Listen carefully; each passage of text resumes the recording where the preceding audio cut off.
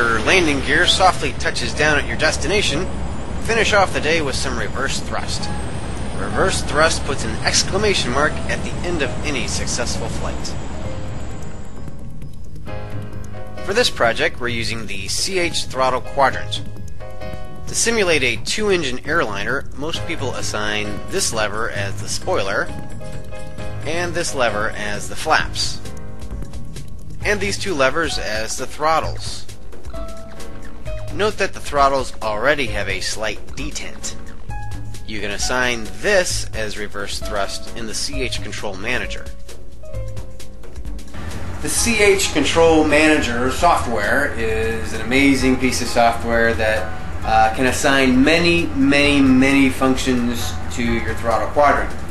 Uh, but it is a little complicated. It, it, takes time, and I didn't want to spend the time, and I really only wanted to do one special thing, reverse thrust.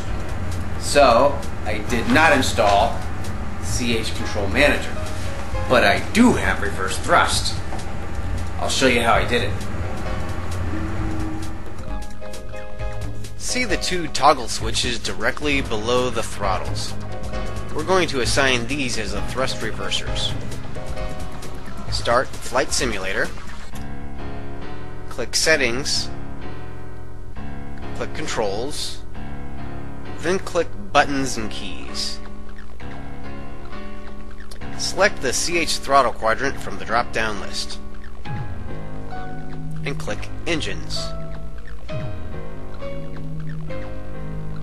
In the assignment list, select the throttle decrease event and click Change Assignment. Click down one of the toggle switches and click OK. Repeat the process with the other throttle decrease event. Make sure the repeat slider is all the way to the right for both buttons. That means we have to hold down the buttons to engage reverse thrust. Remember to click OK when you are finished. Okay, let's fly. Let's say that you just touched down, spoilers extended, throttles idle.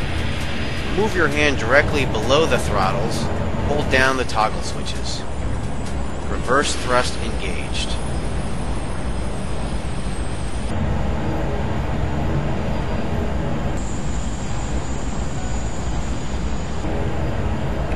When you are below 60 knots, cancel reverse thrust.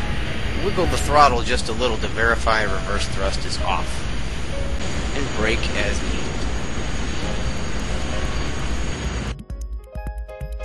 Nice landing, Captain!